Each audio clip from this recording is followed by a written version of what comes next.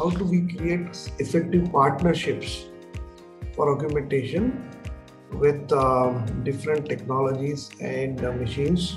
Uh, global uh, thousand largest R&D spenders collectively spend 680 billion a year on developing innovations.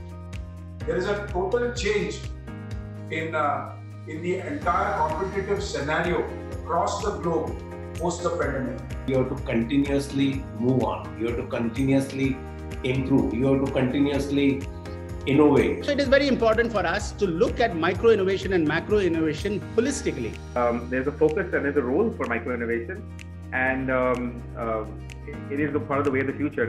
Normal human intelligence, machine and optimized process uh, was superior to a strong computer alone. This uh, e-mobility industry or the clean mobility industry will have four pillars and each pillar is a very different industry. The most important ingredient for any innovation ecosystem to thrive in innovation is the mindset at the top. Augmented reality is a set of technology that superimposes digital data onto the physical world. E-mobility is at the top of the agenda from the global community also. The takeaway is definitely uh, it is about creating an innovation culture.